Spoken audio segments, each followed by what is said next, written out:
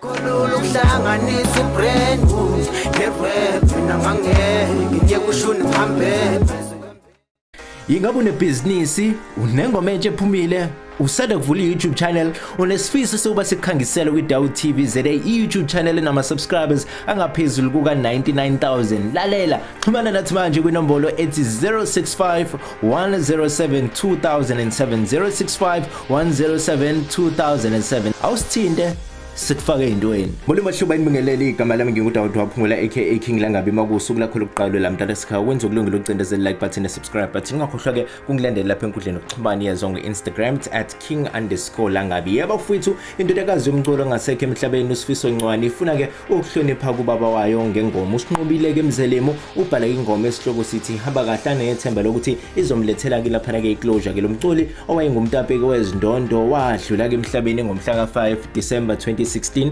kanti usinqobile uthena-ke wabhala le ngoma ngonyaka wedlule kanti-ke ube nethemba lokuthi uzokwazi ukuthi ayikhiphe ngosuku likasifiso ncwane-ke lokuzalwa ngenyanga ezayo kepha-ke izinkinga-ke zezimali zizokwenza lokhu ukuthi-ke lapha kungenzeki.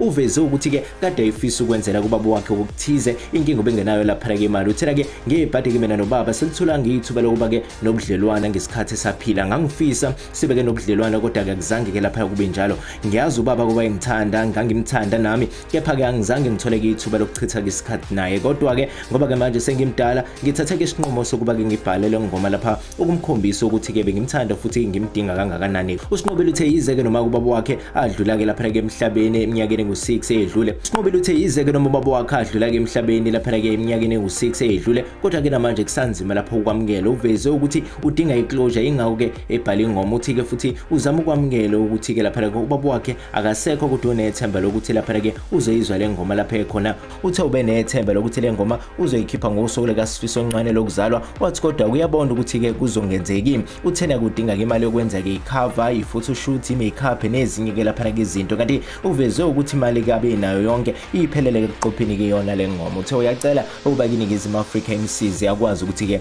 ayikhiphe le ngoma. Mina ngana kwethu ngizofisa nje ukwazi kuwena ukuthi-ke ngabe lithini uvu lwakho mayelana-ke nalo lolu daba. Lapho kwi-comment section ungakhohlwa-ke ucindezela yona i-like button ne-subscribe button ungilandela-ke enkundleni yokuxhumana yazonke instagram at king underscore langabi from me somdakadaka ngithi ba senghem